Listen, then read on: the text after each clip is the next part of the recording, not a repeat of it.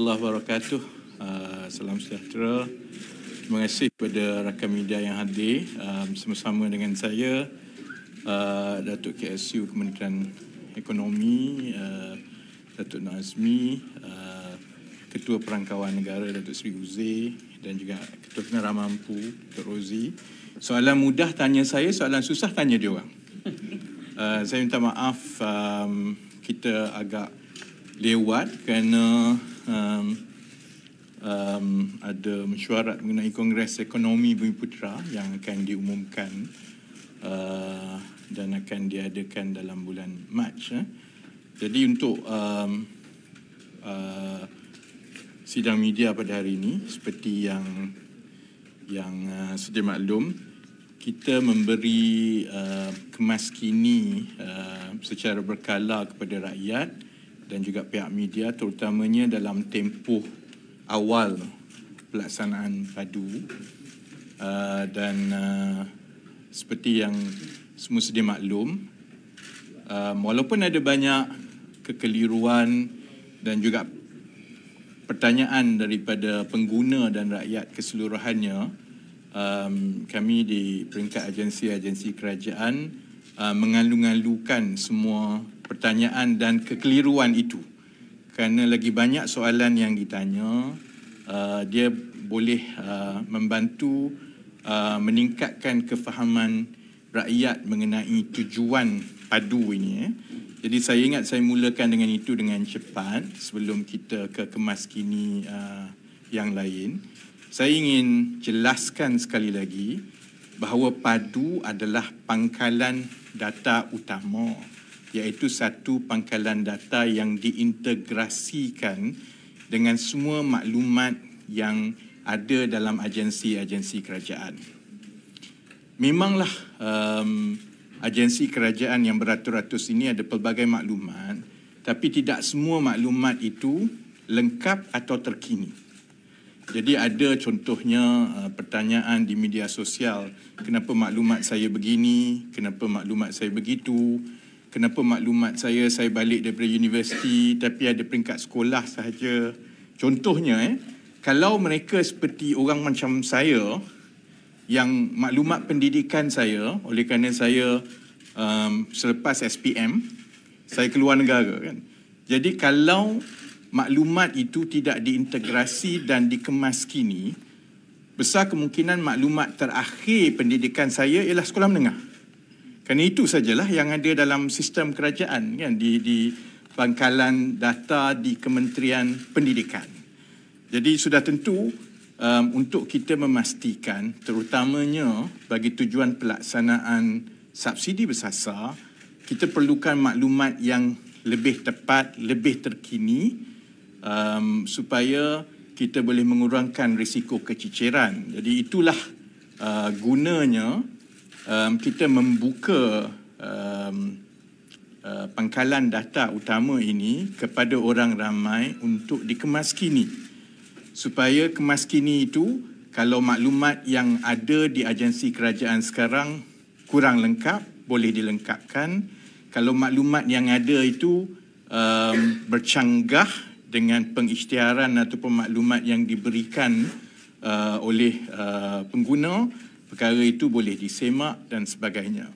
Sudah tentu selain daripada um, uh, tujuan subsidi bersasar dan saya dah mula lihat uh, maklum balas uh, pengguna-pengguna yang faham tentang rancangan-rancangan seterusnya mengenai pangkalan data ini um, ia akan menjadi tulang belakang kepada keseluruhan uh, pendigitalan khidmat awam yang akan dijalankan melalui GovTech. Sebab itu ia bukan semata-mata melibatkan agensi-agensi yang bersabit dengan ekonomi atau kewangan semata-mata dan sebab itu um, satu agensi utama yang menggerakkan padu adalah Mampu. Dan Mampu kini adalah uh, telah dinaik taraf menjadi Kementerian Digital dan mampu akan mengetuai keseluruhan peralihan dan transformasi khidmat kerajaan kepada uh, khidmat digital. Jadi saya nampak dah ada kefahaman itu dibina berperingkat-peringkat. Contohnya orang ramai mula faham kenapa sebelum ini kita tidak boleh memusatkan khidmat digital kerajaan itu kepada satu tingkap. Walaupun uh, orang tanya kenapa tak boleh buat macam itu, kenapa tak boleh buat begini? Kerana asasnya itu mestilah ada satu pangkalan data utama yang diintegrasi. Sebelum ini masing-masing ada di agensi masing-masing. Jadi kalau nak buat satu GovTech yang satu tingkap, yang satu aplikasi saja ada semua, memang tak boleh buat kerana uh, data ni ada kat situ, data ni ada dekat sini kan. Jadi um, dan saya mengalu-alukan uh, kefahaman itu dan uh, ia satu proses yang perlu dilalui oleh kerajaan dan masyarakat. Jadi kalau ada orang tanya contohnya uh, kenapa um, ia perlu dibangunkan 100% oleh penjawat awam. Ia bukan soal kos mata-mata. Sudah tentu soal kos itu penting untuk kita jimatkan uh, wang rakyat. Tapi yang sama penting ialah keutamaan untuk membangunkan kepakaran dan proses dalaman penjawat awam kerana model yang sebelum ini iaitu model melantik vendor ataupun syarikat swasta untuk membangunkan aplikasi bersepadu uh, kerajaan tidak lagi sesuai. Dia bukan saja uh, soal kos, dia juga soal kemahiran kerana apabila sesuatu aplikasi itu dibangunkan, kontrak itu terhad kepada kerja itu saja. Sebab itu kenapa dalam um, uh, peluncuran dan juga um, penggunaan padu setakat ini kita boleh bagi reaksi dan kemaskini dengan cepat kerana ia diusahakan oleh penjawat awam. Cuma penjawat awam kerja sampai pukul 12, pukul 1 pagi lah. Tapi kalau dengan kontraktor, contohnya vendor, kalau kontraknya kata buat yang itu saja, nak suruh buat ubah tu tak boleh dah kerana itu bukan dalam kontrak saya. Ha, ini kena tambah overtime. Yang ini kena tambah kos. Itu satu. Eh. Tapi yang lebih penting ialah sebarang pembangunan produk digital melibatkan satu proses yang berterusan. Dia bukan kita macam buat rumah, buat satu rumah dah siap lepas tu habis kat situ. Kita buat satu pros, uh, uh, uh, produk versi satu dikeluarkan akan ada maklum balas dan juga penambahbaikan yang berterusan terutamanya yang melibatkan um, user feedback. Dan perkara itu perlu uh, ditambah baik dari satu hari ke satu hari dan untuk kita memastikan uh, aplikasi digital kerajaan itu terus dikemaskini uh, dari segi uh, reka bentuknya, UI UX-nya itu sentiasa uh, uh, dibaiki, dia tak boleh terikat dengan tender-tender dengan pihak swasta.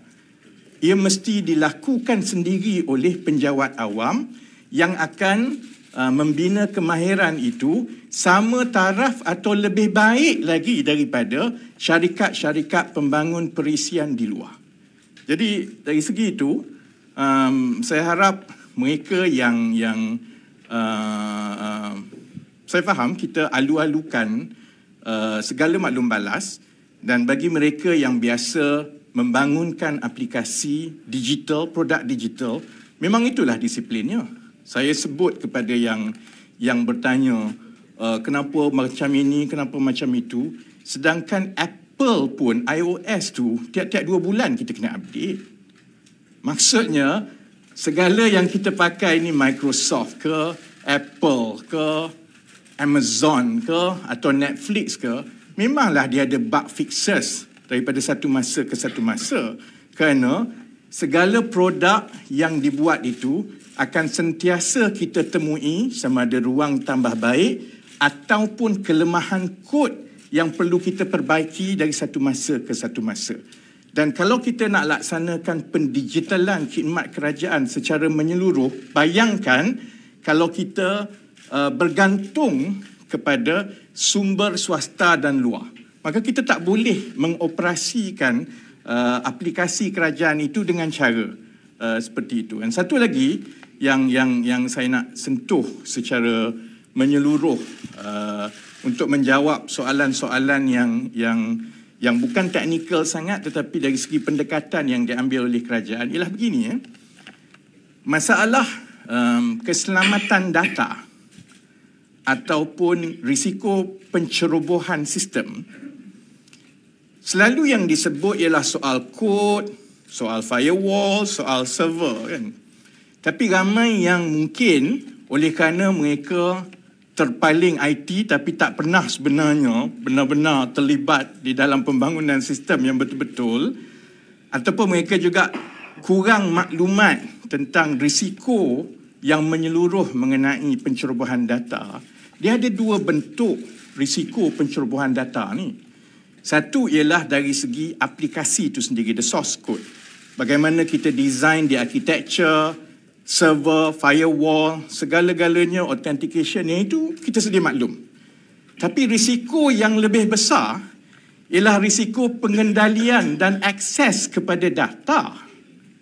Dan itu keputusan yang kami buat, terutamanya saya lah, bahawa ia perlu dikendalikan oleh penjawat awam kerana kita nak mengurangkan dan uh, mengurangkan risiko ada third party ataupun pembangun ataupun pengendali yang bukan penjawat awam yang membangunkan sistem tetapi dia ada akses kepada maklumat rakyat. Bezanya ialah kerana penjawat awam dia akan tertakluk kepada akta rahsia rasmi. Dia tertakluk kepada segala uh, peraturan, akta dan sebagainya. Kalau mereka melanggar is a criminal yang terus uh, boleh kena charge. Tapi kalau third party uh, swasta ataupun orang yang yang tidak tertakluk kepada semua ini um, dan pengalaman kita dalam kajian setakat ini um, ada uh, insiden-insiden yang melibatkan kebocoran maklumat ini sebenarnya kalau dia melibatkan juga third party kerana dia vendor, dia subkontraktor, dia buat tapi dia ada akses tapi dia tidak terikat kepada peraturan-peraturan yang uh, memegang uh, tanggungjawab penjawat-penjawat awam. Ya? Jadi saya ingat um, itu memberi beberapa jawapan yang menyeluruh juga kepada banyak pertanyaan-pertanyaan dan uh, saya harap itu juga memberi gambaran kenapa kerajaan mengambil langkah ini bahawa ia perlu dibangunkan oleh penjawat awam. Kerana this is not just about the database this is not just about padu but this is about building and transforming our public service to be a leading uh, world quality digital based public service in the world. Dan saya yakin uh, dan kalau tidak saya tak ambil risiko itu kerana saya tahu saya kena jawab dan saya kena kecam But I think I've worked with them. Dan uh, seperti banyak juga um, maklum balas maklum balas. Yang saya kira daripada uh, social media sekarang ni maklum balas itu adil. Ramai yang yang um, uh, berjaya uh, menggunakan sistem dengan baik. Dan saya ingat data dan kemaskininya itu adalah bukti kepada itu. Tetapi pada masa yang sama um, saya tengok apa-apa kelemahan yang dikemukakan kepada pasukan, perkara itu diselesaikan dan diambil kira dengan cepat, tidak ubah ataupun lebih baik pun daripada sistem-sistem yang dikendalikan oleh bukan penjawat awam. Jadi uh, kesempatan ini saya ambil uh, untuk saya ucapkan terima kasih sekali lagi kepada mereka yang masih lagi uh, bertugas around the clock saya tengok dalam uh, WhatsApp dan juga kumpulan-kumpulan uh, petugas um, is almost an 18 to 20 hours job every day. Uh, terutamanya dalam minggu pertama ini supaya kita dapat membaiki dengan segera dan kita dapat menambah baik uh, dan responsif kepada um, feedback daripada pengguna. And that's the discipline is is no longer waterfall software development nowadays. It's called agile. Jadi agile tu memang macam ni lah. You ship the product, you do your best. We've gone through every single um, process in textbook sebenarnya.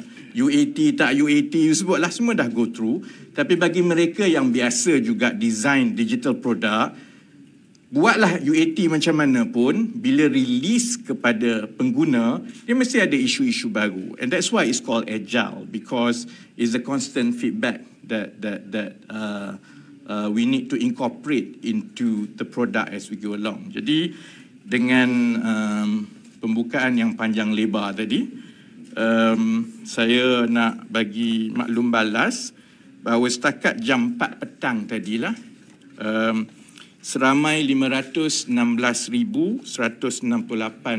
rakyat Malaysia telah pun mendaftar yang mana 261,158 uh, pengguna telah pun selesai proses eKYC. Dan uh, tumpuan kita kerana saya lihat selepas dua hari, ini masuk dua hari, um, masalah uh, yang yang utama itu telah diselesaikan dalam tempoh 24 jam dan uh, uh, selepas uh, 24 jam pertama uh, perkara-perkara yang ditimbulkan itu lebih kepada um, user familiarity with the system. Macam mana nak isi ataupun uh, kamera saya tak tak tak berfungsi uh, cache dia tu dia tak clear dan itu perkara-perkara biasa yang akan terus ditangani melalui talian hotline dan juga uh, saluran-saluran lain yang terbuka uh, dengan kadar sebegini um, saya ingat selepas 48 jam pertama kita akan melepasi 600 ribu, saya ingat tak ada masalah, 600 ribu pendaftar. Tumpuan pasukan padu di peringkat kerajaan ialah untuk kita mengunjurkan dan memahami pola pendaftaran untuk tempoh seminggu, dua minggu akan datang untuk kita menangani risiko kececeran. Kerana kalau rakan media lihat, kami sudah mula uh, memberi maklumat pecahan pendaftaran mengikut negeri sudah tentu yang paling banyak mendaftar ialah kawasan bandar, paling tinggi Selangor. Uh, jadi kita beranggapan bahawa perkara ini akan berterusan dan um, dengan unjuran pola pendaftaran itu, ia akan membantu pasukan padu untuk menggerakkan flying squad dan juga tumpuan-tumpuan untuk memastikan bahawa uh, take up rate ataupun pendaftaran itu adalah sekata di seluruh Malaysia dan dia juga membolehkan kita untuk mengenal pasti kumpulan-kumpulan yang berisiko uh, tercicir. Uh, jadi uh, kita akan uh, selain daripada kita akan terus uh, mengawasi um, um, feedback maklum balas rakyat mengenai uh, padu, uh, tumpuan selepas ini ialah untuk memastikan uh, pendaftaran itu kekal dengan momentum yang sedia ada dan juga dia meliputi dengan sekata di seluruh negara. Ada soalan?